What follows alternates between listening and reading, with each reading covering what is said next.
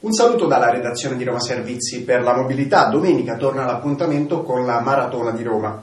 Partenza e arrivo saranno a Via dei Fori Imperiali per un percorso di 42 km e 195 metri che oltre al centro si snoderà tra San Paolo, Piramide, il Lungotevere, Prati e San Pietro, il Foro Italico, il Flaminio e il villaggio olimpico. Chiusure al traffico dalle prime ore e sino alle 15.30 di domenica. Complessivamente previste modifiche per 73 linee del trasporto pubblico durante la gara, 9 saranno sospese, 9 deviate e 55 limitate. Dettagli e aggiornamenti su romamobilita.it.